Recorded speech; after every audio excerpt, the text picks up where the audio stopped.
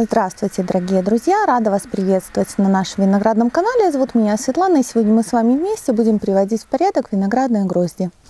Бывает так, что грозди у нас имеют не совсем товарный вид, а, они плохо опылились. Вот это лора, а, как видите, в этом году, к сожалению, произошло вот так. В прошлом году все было идеально.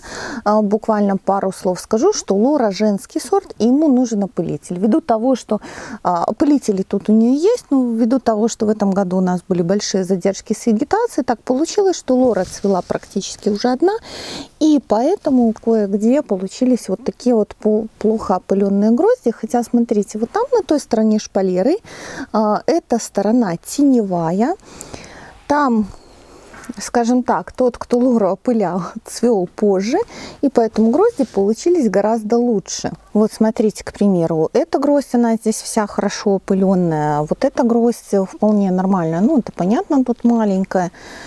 А, дальше вон висят нормальные грозди вполне.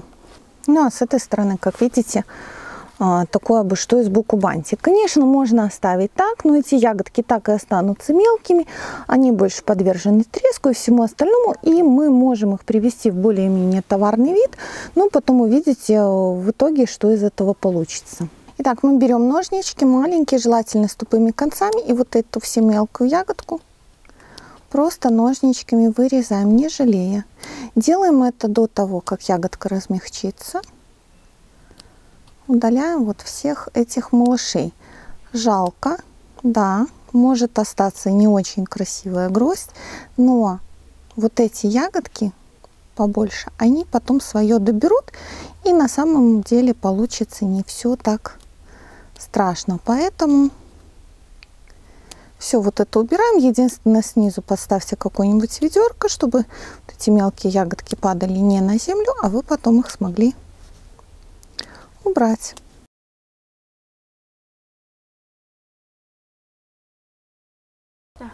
Ну, смотрите, в этой грозе вообще очень много, и кажется очень жалко все это убирать, но, повторюсь еще раз, не жалея, убираем.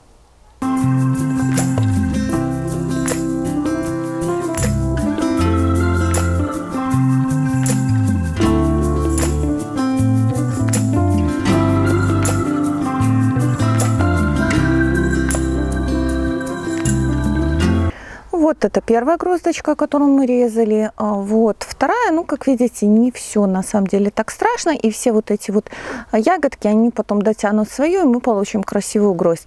А если мы оставим вот это, то энергия будет распределяться по всем этим ягодкам. Все равно вот эти вот малышата, они не дорастут, они такими останутся и только будут трескаться, ну и создавать такой не совсем красивый вид. Поэтому, если вы хотите, чтобы ваши грозди были красивые, то можете все это смело вырезать.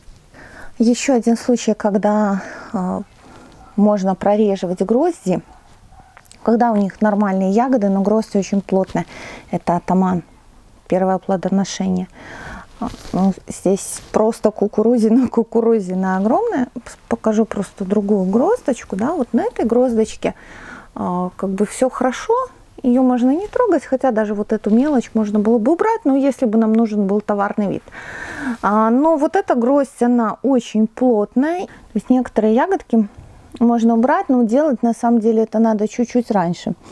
Вот здесь внизу вот эту вот маленькую.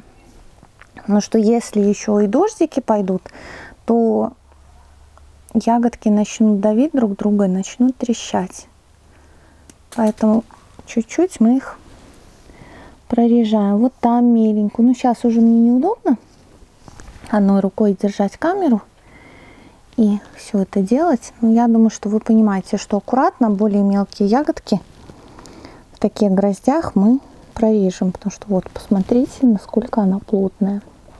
Вот посмотрите, сколько там всего еще внутри вот этих ягодок и как они спрессованы ну, по-хорошему, как бы сейчас уже даже поздновато, но все равно это лучше сделать, потому что, повторюсь, а, если, например, пойдет дождик, вот эти ягодки, они друг друга очень давят, а, внутри может быть э, треск, даже у того сорта, который не сильно трещит, просто из-за вот этого самого большого давления. Ну тогда, соответственно, и загниваться может внутри. Именно поэтому мы все это прорежем, но желательно это сделать раньше. Можно, конечно, сейчас, сейчас сложнее, вот мне надо как-то аккуратненько залезть, чтобы мне ничего не повредить, вот туда внутрь кое-что поубирать. То есть лучше это сделать немножко заранее. Уже заранее видно, что гроздь достаточно плотная, ее надо а, прореживать. Ну, вы можете ориентироваться и на сам сорт. Но немножечко я ее освободила, наверное, даже не сильно заметно, но ввиду того, что доставала, доставала, вот тут вот целая куча ягодок, а по грозди особо не видно. Ну вот такие плотные грозди не жалейте, вырезайте. И если вы знаете, что сорт такой, вот он плотненький, значит э, делайте это заранее, будет легче. Ну вот, например, э, у такой грозди, это Антоний Великий, э, видите, гроздь не такая плотная, поэтому данному сорту вот делать такие операции нет необходимости. А самое главное в таких случаях, чтобы вы не жалели э, этих ягодок, потому что, повторюсь, виноград свое дотянет. Как вот эта плотная гроздь, она все равно наберет свой вес так и вот эти прореженные грозди, в которых мы удалили неопылившиеся ягодки. Конечно, потом, когда мы будем смотреть урожай, я вам еще покажу результат, что из этого вышло, чтобы вы смогли а, во всем убедиться. Но на этом я с вами прощаюсь. Большое вам спасибо за просмотр. Подписывайтесь, ставьте лайки, в комментариях пишите свои мнения, задавайте вопросы. Под видео, нажав кнопку «Еще», будет ссылка на каталог наших сортов винограда, обновления которого будет осенью, и мои контакты. До новых встреч!